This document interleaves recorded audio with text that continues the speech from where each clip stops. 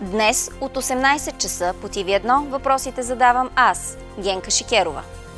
Леви активисти осъдиха руската агресия и призоваха за цялост на Украина.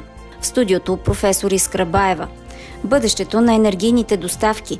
Анализ на Боян Рашев. Ролята на Китай в новия световен ред, говори професор Аврам Агов.